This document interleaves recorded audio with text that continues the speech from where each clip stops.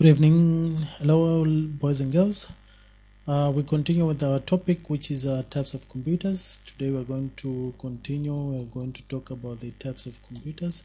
I think uh, the last lesson we talked about the classification, and uh, we talked about personal computers, workstations, mini computers, supercomputers, and mainframe computers. Okay, now we want to move on to personal computers. Going to I'm going to explain type by type. So, looking at the personal computers, uh, this was created in 1981. The first small computer, which was called a personal computer. Why was it called a personal computer? Because it was one of the smallest computers which reached the home. Most of the computers, uh, according to the history of computers, they were only industrial computers.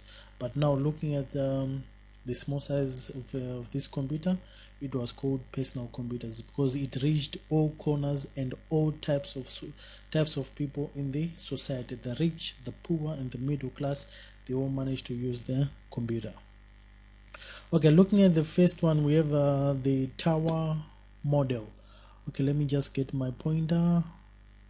Uh, we've got the power the tower model. Tower is mainly because it looks like a do you know the tower lights for example in our zones there we've got some tower lights which just reflect light in the streets. So it's it's a pole long one. And there's a light here. That's why it's called a tower light. So we also have tower computers uh, which are the ones we we are using right now. Uh, we have in the computer lab those are tower computers. They are tall. That's why they are called tower. Why are they called tower? Sorry they are called tower because inside there we can slot in the power supply, we can slot in the hard disk drive, we can slot in the CD-ROM drive and the other parts of a computer which are inside. And there are a lot of advantages. Or before we go to that, let's just read here. The term refers to a computer which the power supply, like I said, the motherboard, the mass storage devices are stacked onto each other in a cabinet. So this is in contrast to a desktop model in which in which these components are housed in more compact box. We'll talk about that later. So the advantages of having a tower computer. First, fewer space constraints. When you talk about uh, space constraints, it means the computer feels very very happy and very comfortable because each component inside that computer it's on its own. It's not compacted. It's not uh, squeezed within the other components. Because a computer when it's working it produces some heat. So there's enough circulation of air inside the computer in a tower case. Okay? Then we also have uh, it also makes installation and additional storage devices easier. It means when you want to do some maintenance especially when you want to clean some dust this is the best computer to clean dust. It's very easy because the space inside even for circulation of air. Then it also saves uh, desk space as you can see. It's now now depends with you. You can put it on top of your desk or you can put it under your desk. So you can even save more space if you put it under your desk and it's much flexible.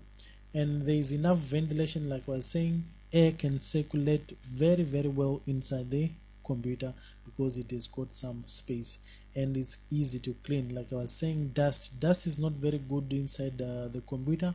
What happens with with the dust? When you have uh, too much dust in your computer it creates what we call false contact. So what will happen? It may contact some electricity and it's going to join two components or either on the motherboard and it's going to create a false contact.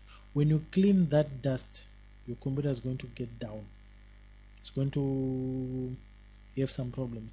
So sometimes that false contact can help the computer to work but once you clean that dust it's going to be down. So it's always wise to clean up your computer so that you don't have those false contacts. And sometimes besides creating false contacts it can damage your computer. There are some uh, components inside the computer like a motherboard it has got some holes for ventilation or for um, respiration. So if the dust blocks those ones it can create some problems. Then we have the the most common one uh, called the desktop. Even these ones people they call them desktop but generally they are not desktop. These are called tower computers. As you can see they stand tall.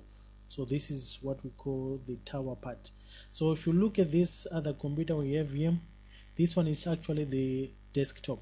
A computer designed to fit comfortably on a desk typically with a monitor sitting on top of the computer.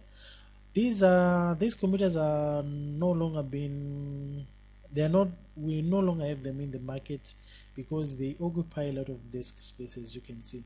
It means on top of a desk you have to put another computer then it will be much higher as you can see here. I don't like them. Practically principally myself i don't like them. It depends with the the user. Then then we also have um, desktop models computers are broad as you can see. Broad now we mean this part here is quite wide. And uh, low whereas okay low we are actually talking about this part here now which is quite low. Whereas tower computers are narrow and tall. Okay let's go back to the tower computers. Tower computers are narrow. Narrow in the sense here as you can see here the width is quite narrow then the height is longer. Then looking at these now desktops they have a wide they are broad here and very small here on the on the height.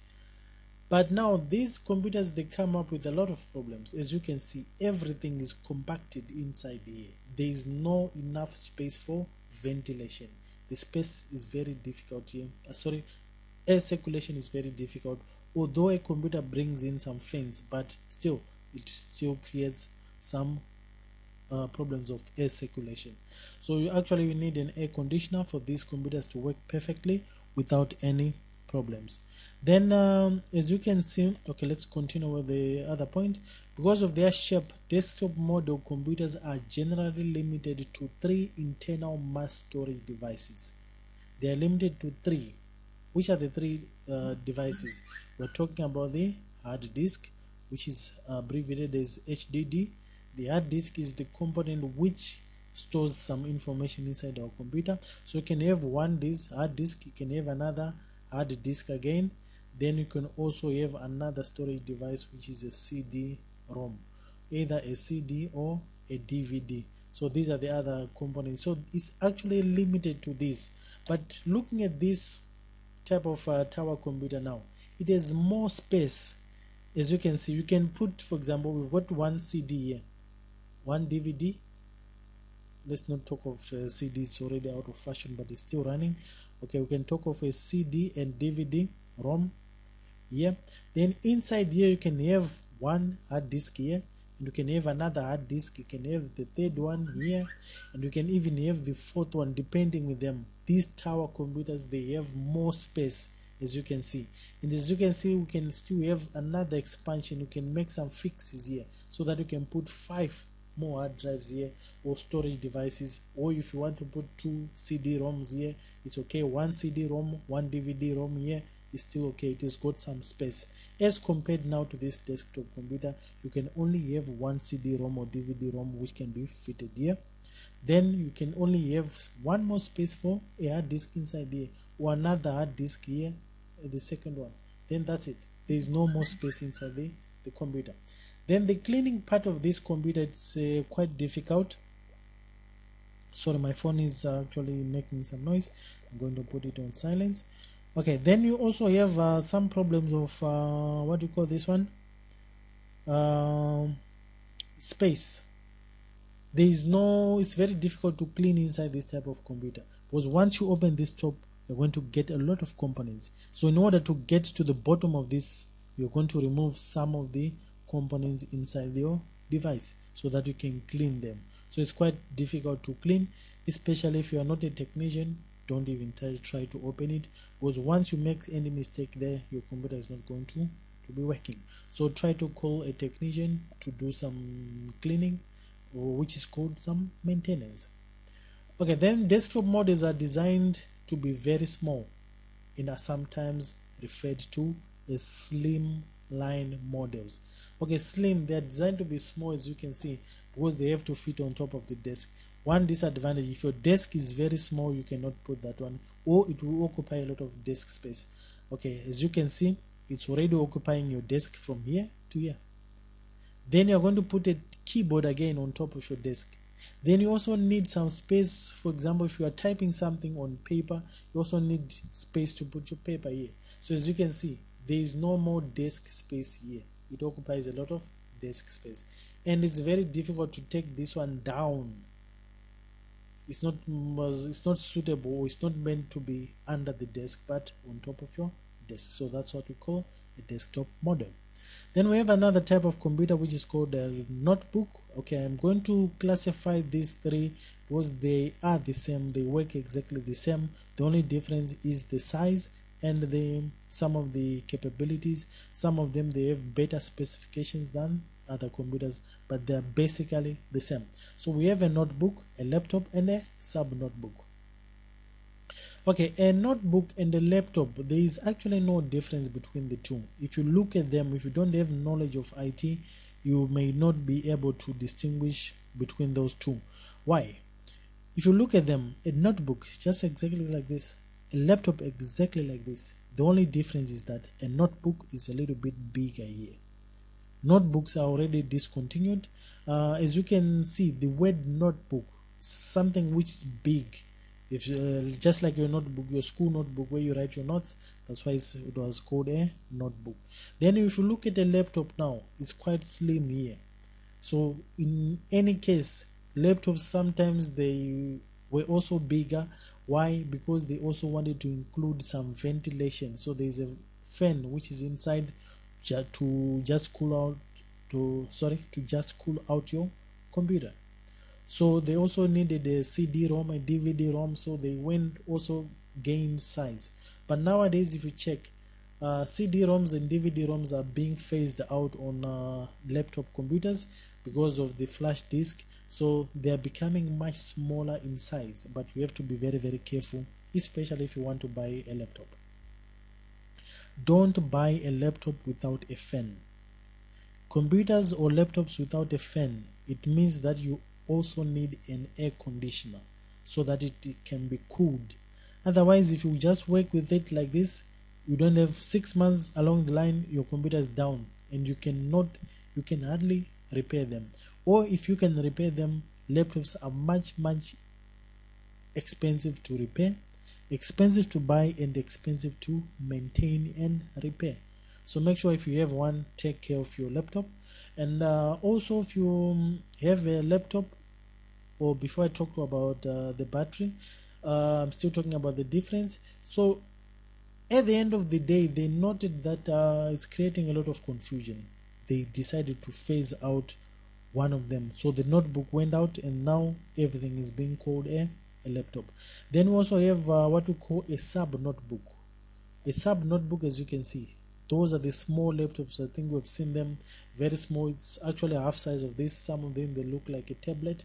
I've got uh, three here as you can see. So we've got the big one is actually the laptop and this one is a sub uh, notebook and this one is actually um, a tablet. We'll talk about the tablets and it can also be um, what do you call this one? A PDA personal digital assistant. I, uh, we'll still have to talk about that later. As you can see so these are the actual sizes of uh, the computers there. But if you don't have a desktop computer don't buy a laptop. If you buy this one as a second computer or buy it if you have a necessity of being mobile. You travel a lot you need a laptop then you can buy it. But if you just buy it to just use it at home. Don't even try to buy this one. It will be expensive for nothing. One it won't last very very long as compared to a desktop computer or a tower computer like we were talking about. Tower computers are very very strong and durable. You can stay for them for long. Why? Because they are not mov they are not mobile they're just fixed. You put it under your desk or you put it on top of your desk it's there in the corner. Nobody touches it nobody leaves it. Only what you do is switching on your computer and working with it. As for a laptop now you have to carry the laptop you have to put it inside your bag you have to run throw it down. At times it will fall. You're going to disturb all these components. As you can see this is a very small space here and everything is compacted here inside so you need to take very good care of this device. Then one advantage of these devices or they are mobile. So it means you can carry them to anywhere you like. Then you can use a battery. But then the battery you have to take care of it. How do we take care of the battery? It means that the battery they are designed to work with a battery not with a charger. Okay there's a charger there. It has got a box here. Then the cable then it goes straight to the to the walls. Okay it's designed to work like this. But don't work with it while charging. First charge your laptop then you leave it until it goes to 100% when it is full take it off the the plug then you can start using it. It's designed to work with the battery not with electricity. If you work with it while it is charging what happens is going is that it's going to disturb or it's going to um, uh, make your battery fat. What do you call this one? I'm forgetting the term which uh, should be used. But okay you're just charging it it's going to get full. Once it's full and you're still charging you're not even controlling it it's going to get fat then you're going to burn some of the cells inside the battery then you find out that uh, working with your laptop about for about uh, one hour the battery is down. 30 minutes 20 minutes it's already complaining power. So try to charge it. When it's 100% you take it off then you start working with it. When it's around 15% it will let you know can you please charge me? Then you have to switch it off then you charge it. Don't charge it while you are working this is how we can keep our battery. It will stay for very very long time. But if you just charge it working on it charging and working on it even on your phone if you just charge it you're on whatsapp charging whatsapp with uh, you just uh, talking to your friends your battery will go down. Switch off these devices you charge then you switch on you start working. So actually this 15% is an alert. If you continue if you ignore for example this 15% when it reaches 10% it's going to let you know again I need some charge. If you ignore it it's going to automatically switch off because it has to conserve some of the components here which should not run out of power. So it's going to run kind of in a safe mode. It's going to be working but you cannot use it at 10% unless you charge it to 100% so make sure you charge it when it goes to 15% try to finish whatever you're doing. At 11% 10% just switch it off charge it and you start working again. So this is the only way we can use a laptop or any device which uses a battery. You can stay for long with it. So as you can see they are very powerful in processing. Very very good. They're very powerful. Uh, small enough to fit easily in a briefcase in a in a um, in a bag in a satchel whatever but when you put it inside a bag or a satchel you must know that inside this device we have what we call a hard disk which is called a HDD. It's an abbreviation of hard disk. A hard disk is the device which stores some information inside the computer. It also holds the operating system inside the computer. So, this hard disk is hard outside, but it's very fragile, very, very fragile, just like an egg. So it's like this in outside but inside it's a disc which is a metal disc and it has got a hand which has got what we call a read write head. So what happens when you are when you switch on your computer this read write head or this disk is going to rotate at 7200 rounds per minute. This is the speed of a hard disk. So this is a very very fast speed. 7200 rounds per so not per minute sorry per second. Rps for per second. So this is a very very high speed. So what happens now if you just uh, switch off any computer any device you just switch it on off all of a sudden running at this speed this read write head is going to fall and is going to scratch on the hard disk. Today you do it the same. Tomorrow you do the same thing. Next day you do the same. You will find out that after a month your hard disk is gone. You can no longer read or write any information to your hard disk. So it's no try to switch it on. Your computer will not work. So make sure you switch off your computer using the proper uh, using the proper way. Which is the proper way? You click on start shut down. Just like on my computer here just go to to start. Then you go to to this button you click on shut down. This is the proper way of switching off a computer. Don't go by the button or just leave it lose power there. You're going to disturb your your hard disk besides that uh, vibration one disadvantage of using that's why i was saying a desktop computer or a tower computer lives longer than a laptop. Why? Desk any hard disk it doesn't like vibration. Okay you're going to put your your computer or laptop inside your briefcase or inside your satchel inside a bag. You're going to be late you're going to run. Once you are running it's going to be shaking inside your bag. That shaking it can disturb this read write head or it can be scratching. Little by little you're scratching your hard disk. Tomorrow you're late just like this. Maybe stop here going to be like this. Tomorrow maybe you're late again it's going to be scratching here it's going to be scratching here. What happens now at the end of the day it will not be able to read the write or write information on your disk just like a cd or a dvd if you scratch it put dust on it scratch it what happens? You cannot even read any information.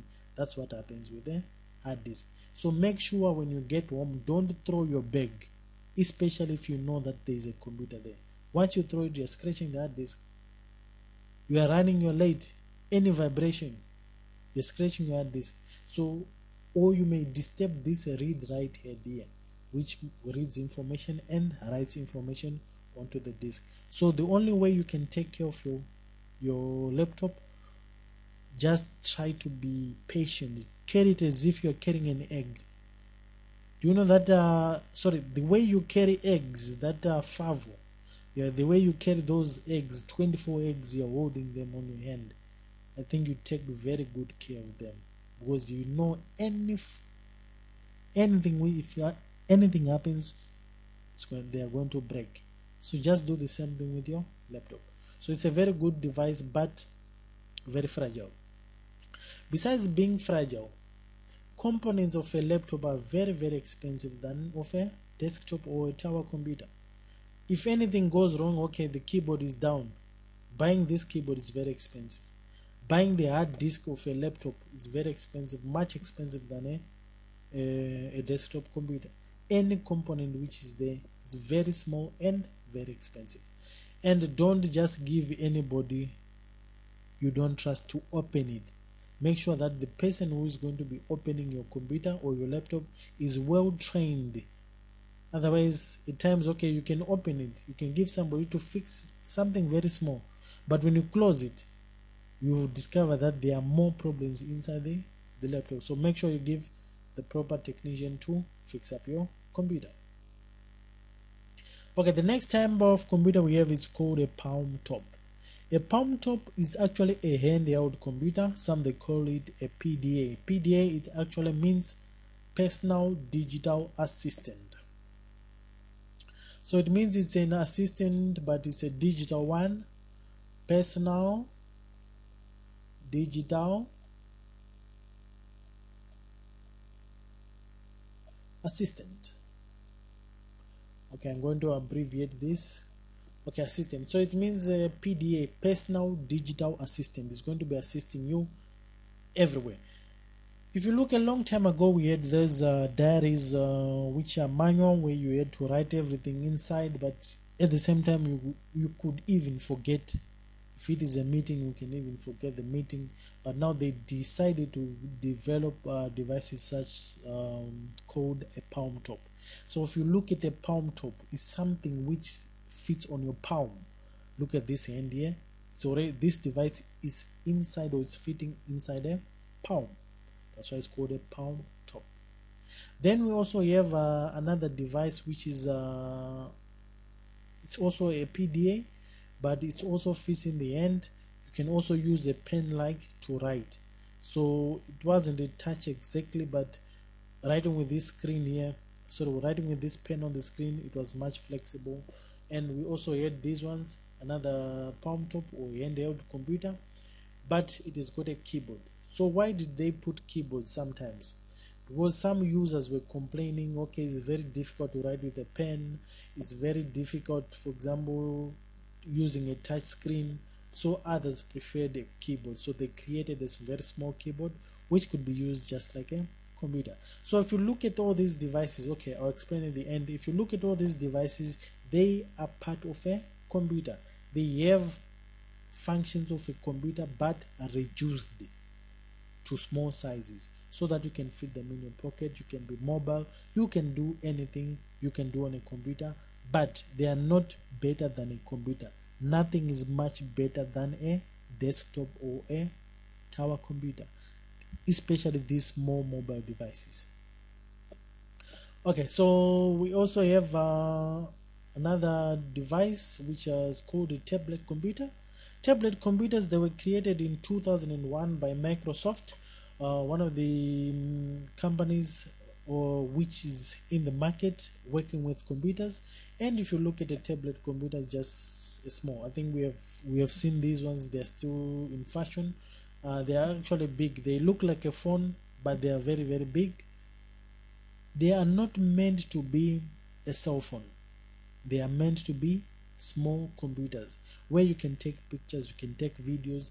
And it's actually i think uh, 2014 if i'm not mistaken uh, apple launched the ipad.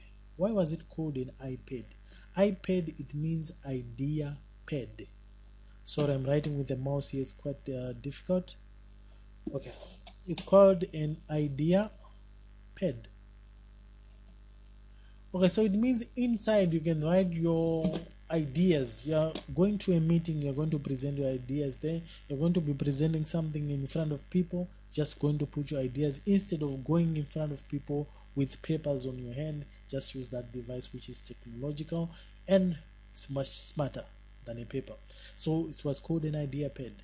As you can see along there are also some users who were not comfortable using the touch screen so they thought we just needed some some keyboards so some of the tablets they brought in some some uh, keyboard like this one is it has got a keyboard although you can fold it or some of them you can just connect them behind so it would work just like a computer.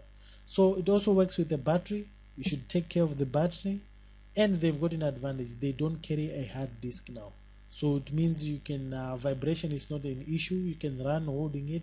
It's okay. As long as it you do sorry as long as you don't drop it it's okay. But the main thing which is much fragile here is the screen. Once you crack this it's down. You cannot do anything else. So you must take care of your screen which is more sensitive here. Then how do they store information if they do if they don't use the hard disk? They store information using what we call a SD card.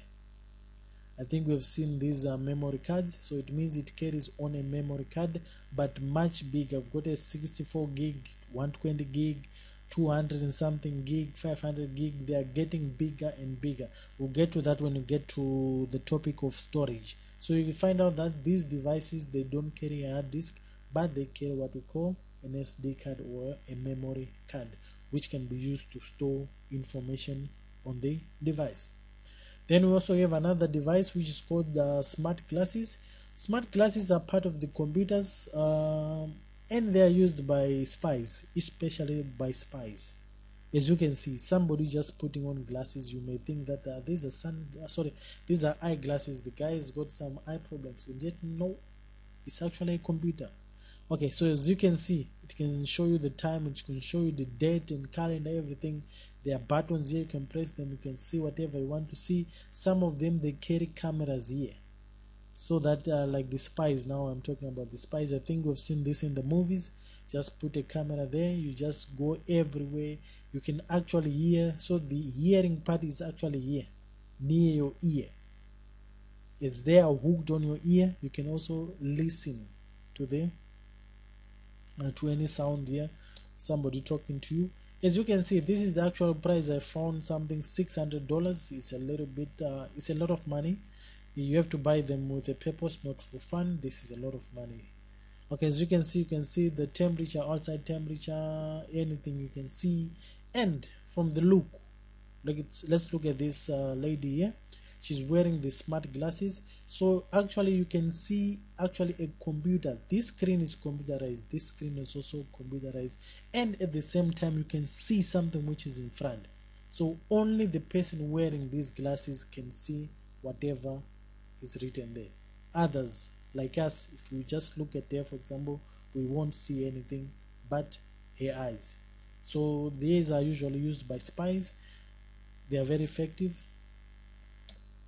Okay we also have what we call the smart watches. Smart watches is something which is uh, a wristwatch but it uses some um, it has some functions of a computer.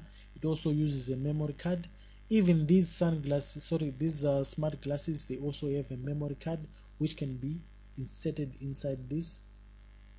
These uh these what do you call these ones? Which hold the, the, the glasses? Then this one also carries a um, it also enters a um, memory card. It also has a camera here.